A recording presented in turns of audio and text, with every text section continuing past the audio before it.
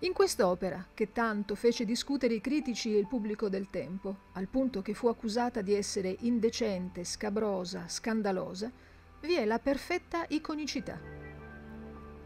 L'autore non vuole lanciare messaggi, non intende simboleggiare concetti o alludere a eventi o considerazioni filosofiche mediante allegorie.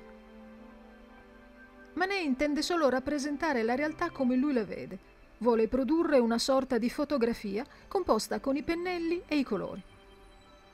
Ecco quindi le icone di quattro giovani, due donne e due uomini, in riva alla Senna, subito dopo una colazione sull'erba. Fra le icone degli abiti sparsi, del cappello di paglia di Firenze, del pane, delle ciliegie, dei fichi e degli altri frutti, avanzi del picnic, l'autore ha invece inserito quelli che, nella realtà, sarebbero indici.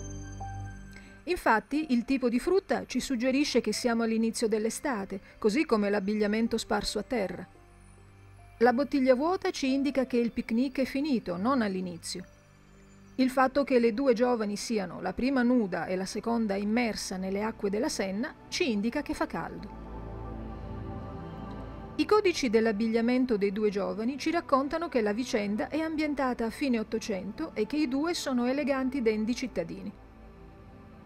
La barca ancorata alla riva suggerisce inequivocabilmente che il corso d'acqua non è un ruscello o un piccolo stagno, ma un fiume o comunque una via d'acqua percorribile.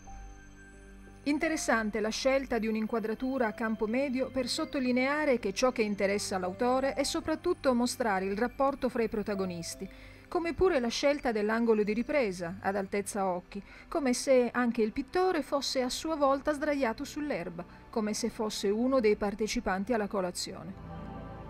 Tale sensazione è acuita dal fatto che la donna guarda dritto verso l'invisibile interlocutore e questo stratagemma permette al destinatario che ammira l'opera di immedesimarsi in Manet e di avere un'impressione del mondo così come lui lo percepiva.